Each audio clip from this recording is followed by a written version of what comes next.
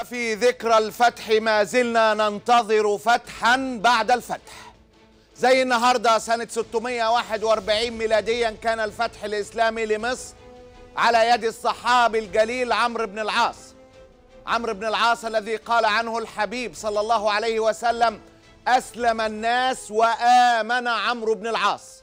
عمرو بن العاص الذي كان قد أمره الرسول على جيش فيه أبو بكر وعمر. فتح مصر عمرو بن العاص مع أربعة آلاف رجل عبر بهم من فلسطين إلى العريش ومر ببير المساعيد حتى حتى وصل وانتهى إلى الفرمة وهي ميناء صغير.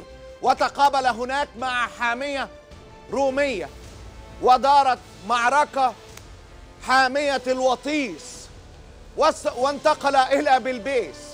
وفي بلبيس تقابل مع جيش الروم وانتصر المسلمون بعد قتال دام شهر واستولوا على بلبيس ثم تقدموا إلى حصن بابليون وأرسل عمرو بن العاص يطلب مددا من الخليفة عمر بن الخطاب. ووصل المدد من الخليفة عمر بن الخطاب قوامه أربعة آلاف رجل وعلى رأسهم أربعة من كبار الصحابة الزبير بن العوام ومسلمة بن مخلد وعبادة بن الصامت والمقداد بن الأسود. فتسنى حينها لعمرو بن العاص ترتيب صفوفه واتجه لملاقاة جيش الروم الذي كان يقدر بعشرين ألفا 8000 قدام عشرين. وتقابل الجيشان في موقعة كبرى هي عين شمس عام 640 الموافق 19 هجرية وانتصر عمرو بن العاص انتصارا كبيرا.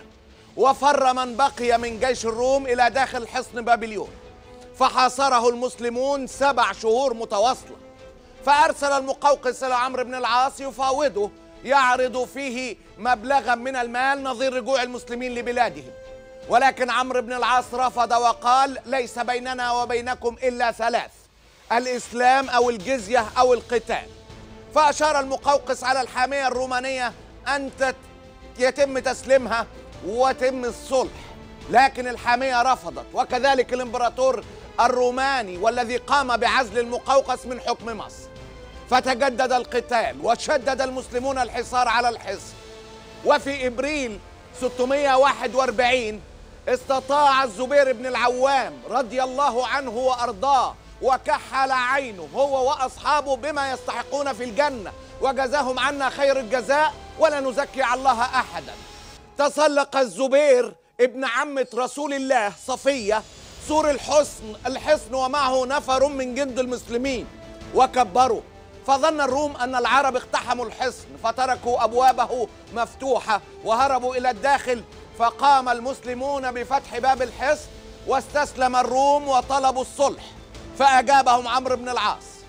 وبقي حينها للروم موقع وحيد عاصمتهم اسكندرية.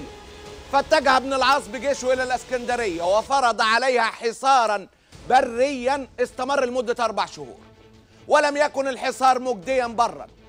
فقد كانت المعونة تأتي للبيزنطيين بحرا. فعهد عمرو بن العاص إلى عبادة بن الصامت رضي الله عنه باقتحام المدينة.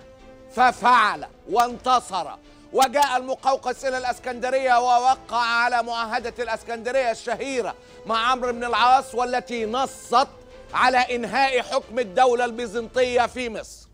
وأسست من بعدها الفسطاط عاصمة لمصر وبني جامع عمرو بن العاص ورفع الظلم عن شعب مصر المسيحي والذي كان يرزح تحت اضطهاد الروم البيزنطيين. فتحت مصر في مثل هذا اليوم فكبروا. فتحت مصر وهي اليوم بعد 1377 سنة تنتظر من يرفع الظلم عن مسلميها ومسيحييها فتحت مصر وفي ذكرى الفتح ما زالت مصر تنتظر فتحا بعد الفتح. الله غالب